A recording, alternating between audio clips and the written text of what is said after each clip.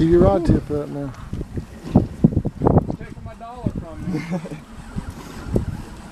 If it's bigger, you can keep the dollar. I just want to fish. Keep that rod tip up.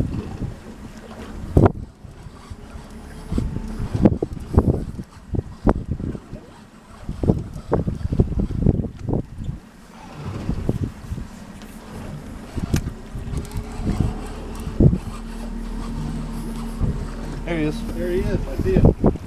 Wow. Halibut looks like an ice. I'm ready for it. There you go. Nice. Nicely done. Yeah, I think so. Nice. Nice. Look going.